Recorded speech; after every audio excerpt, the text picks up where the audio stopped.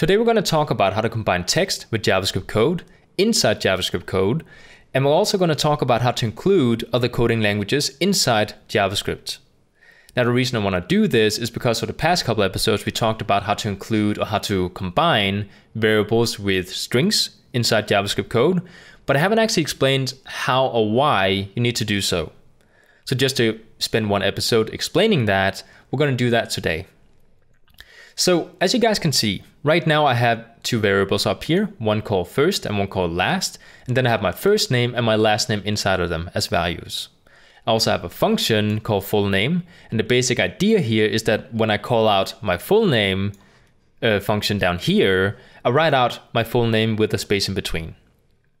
So if I were to combine two variables inside my function here, I can go ahead and write return to make sure we actually return some kind of value that we can write out inside the browser down here. I'm going to write return first. Just to see how this looks like, I'm going to go and refresh the browser. As you guys can see right now, it says undefined because I have nothing inside my function. So it doesn't really know what to write. So it just writes undefined. If I refresh now, you guys can see it says Daniel.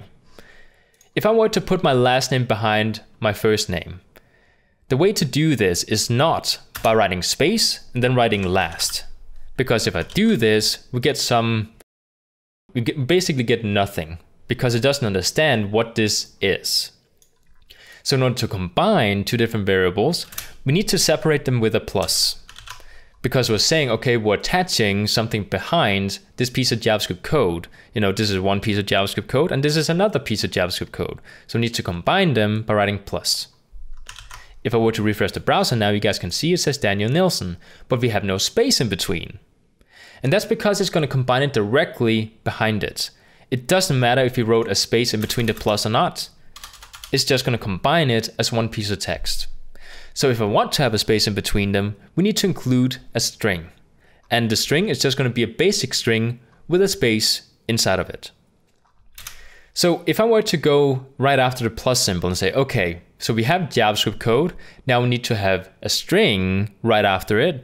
We're switching from JavaScript to a string. And we also need to separate it by a plus symbol.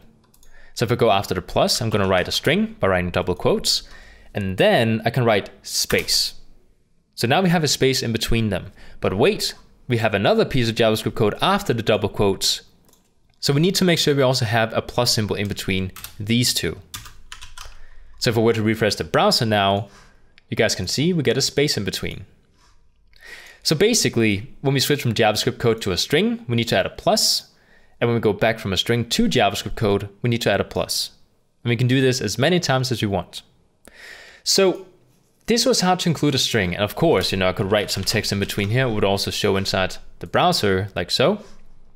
But let's say if I want to style this piece of text here, I want to style Daniel Nilsson by including, you know, HTML code around it.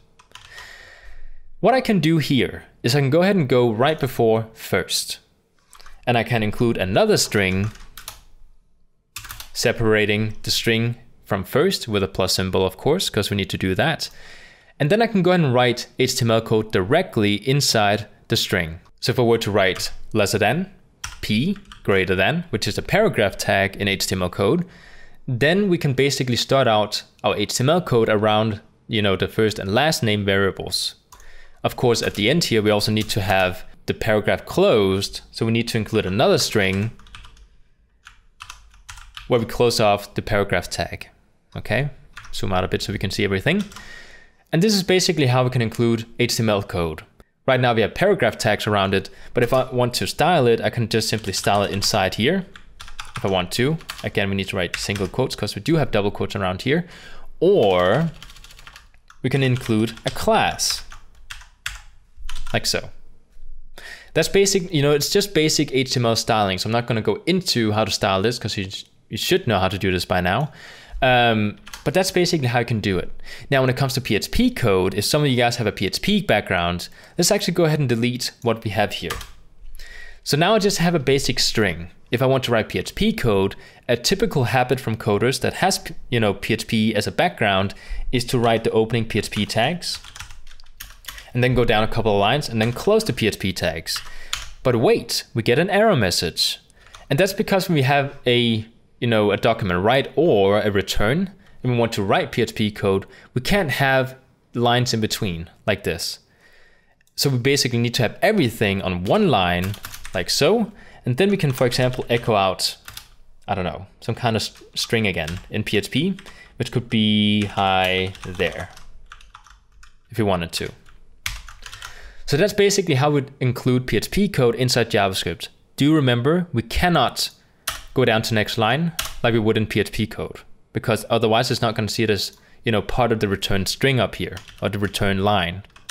So that's basically how we can combine you know JavaScript with other pieces of code or combine strings with JavaScript.